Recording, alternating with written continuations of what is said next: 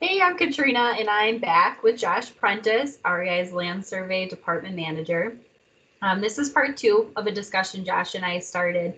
So if you'd like to hear more about what you may have missed, please check out our part one of our surveying discussion.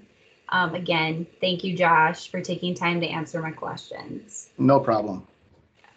Um, so you know that um, I'm a home owner, and my husband and I have been searching for a new home for like an odd, unbelievable amount of years, like four years, whatever. So um, we're searching for a new home. We might potentially build a new home.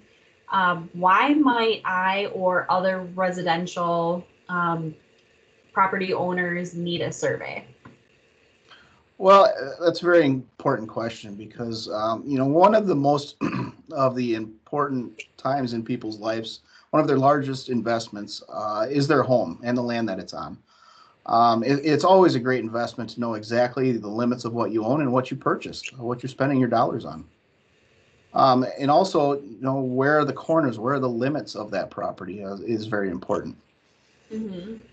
Um, so I've also heard through my searching things about like floodplains or um, insurance costs if you're in a floodplain. So what what does a survey help with that? Um, as surveyors, we can go out and uh, measure elevations, and when we do that, we can relate that to what FEMA has established for floodplains uh, throughout the state of Wisconsin. Um, most of the time, uh, we can take that data, we'll relay it into uh, FEMA's mapping, and we can fill out a letter of map amendment or an elevation certificate uh, and, and, provide that to the client or to FEMA to either remove the structure from the floodplain uh, potentially, or at least uh, at a minimum, maybe reduce their costs for what your insurance would cost. Sure. Yeah, definitely.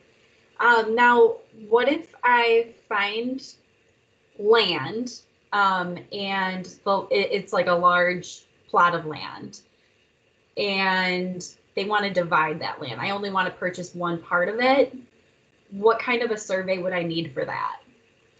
Um, it really depends on the jurisdiction of where that property is, but most of the time, uh, a certified survey map would be the type of document that you're looking for. Uh, especially if they're deciding to divide the land into one or four parcels, uh, somewhere in that range. Um, and if you have any questions, I can certainly help you out with that. Yeah, definitely. Okay, thanks, Josh. Um, we'll come back again. I have more questions for you, but I think that answers everything that I would need to know as a homeowner. Do you have anything else? I don't at this time. Okay, great. Thank you very much. Thank you.